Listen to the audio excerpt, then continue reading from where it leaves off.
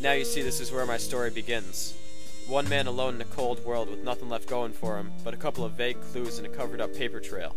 I got a couple of real bad guys who make me sick, but I can't do shit because I got nothing on but a hunch and a couple of flesh wounds to show the jury. You see, I'm a detective, a profession forgotten by many, but remembered by a few scumbags doing hard time in the state penitentiary, or six feet under.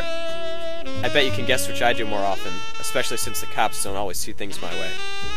They say I don't have evidence, and I'm just a bloodthirsty vigilante. All I know is they make this world the crummy place it is. Most people bring their problems to the cops, but cops don't go everywhere. They're restricted by the laws they enforce. The cowards with their bitchy wives and failure kids have too much to lose to try to stop this filth. You see, when you're following the rules, and the bad guys don't, that's just cheating.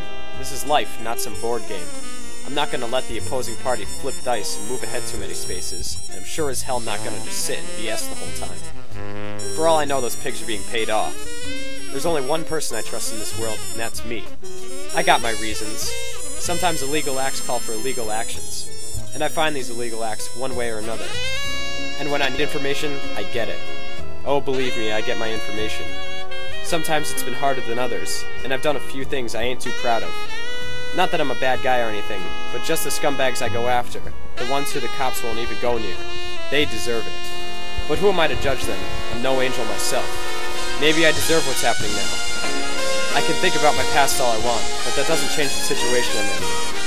I guess I'll have to go this way, even if it makes my blood boil to see a couple scumbags get off on roughing me up just tied to a chair. I gotta do this. I gotta do this to put him away.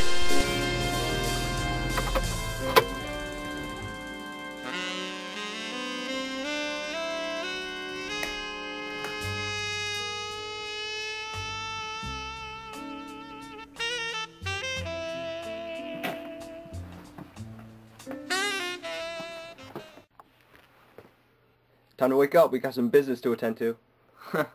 He's out cold. Hey, want to play for a bit? Give you a chance to win your money back. Sure, got nothing better to do. Now you're probably wondering how I got myself into this one. Strapped to a chair like some old bum who's caught a little bad luck with a bookie or two.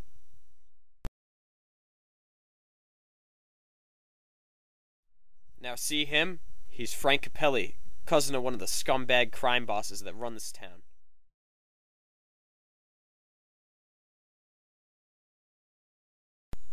That's his boy Ralph. Just a friend, but mostly known as a stoolie. The only reason he's in on anything is because he'll do all the shit dirty work. They always need a guy like that. A bitch, more or less. The two think I have dirt on Jack Capelli, Frankie's cousin and head of the crew that runs these parts of town. Regardless of what I think, I need to be here. It's the only way to put Jack and these scumbags away. think I got you. All in.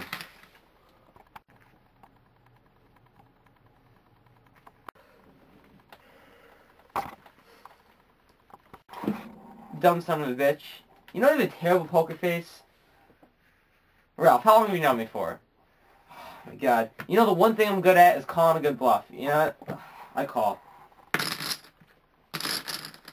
Relax, man. It's just poker. You got me, though. Down 20 bucks already. Night's still young. That's right, Ralph. Maybe you might not wake up tonight. You have another chance to win your money back. We sure did break him in good, though, right? Yeah, we did. Think we'll ever talk? No need bragging about that, Reed. You had a sure win hand. You couldn't read a bluff if your life depended on it. Seems like our friend finally woke up. Let's get back to work and have a little fun while we're at it. I think I'll cut my losses tonight. You gonna talk? I don't think he is.